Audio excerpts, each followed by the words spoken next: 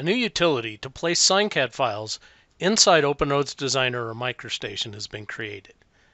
You can integrate this into your existing workspace. Uh, we've delivered a new workflow for it that's got the two icons on it, plus a variety of other useful tools from within the MicroStation or OpenRoads Designer environment.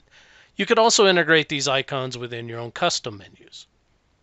Signs can either be imported directly from an SGN file by selecting the first tool, browsing out to the file you want, and then going through the settings, or they can be copied and pasted from a file. If you have SignCAD and you want to go select the things that you want to bring across, choose copy or control C, and then come back to your DGN environment and choose the paste. Either way you go, the, the rest of the settings all work the same, and there's the same settings here. You can choose whether or not you're going to bring in the fill color, the scale that you're going to bring it in, the rotation angle, and what level that signed cell is going to get created on.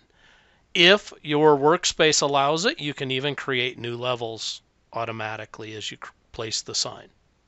You can also choose whether or not you're bringing in dimensions, how the dimensions going to be scaled, what font the dimension is going to use, how many decimal places, and what level it will be placed on.